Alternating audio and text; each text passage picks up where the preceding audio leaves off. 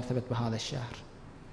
رغم أنف رجل دخل عليه شهر رمضان ثم انسلخ قبل أن يغفر له. هذه الفرصة تدخل. ثم تخرج.